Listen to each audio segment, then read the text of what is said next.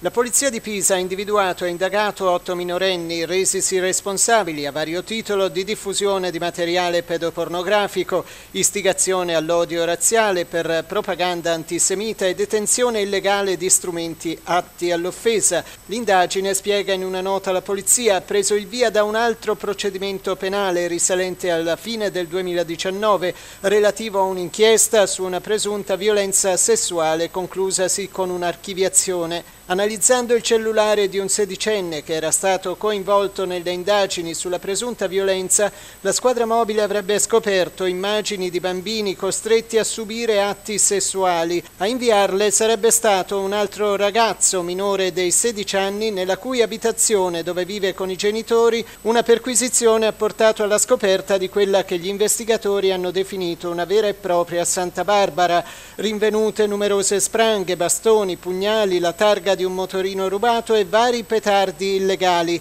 Analizzando poi computer e cellulari dell'adolescente sarebbero stati scoperti una serie di file nei quali il giovane amava farsi riprendere durante il compimento di atti vandalici commessi in città, a volte insieme ad altri coetanei, oltre ad essere in possesso di alcuni video tutorial estratti dalla rete vertenti su come realizzare ordigni rudimentali utilizzando prodotti pirotecnici comunemente in commercio. In due chat inquisite gli investigatori avrebbero poi trovato anche frasi inneggianti l'olocausto e figure raffiguranti Adolf Hitler, inneggiato con frasi ironiche quali premio Nobel per la brace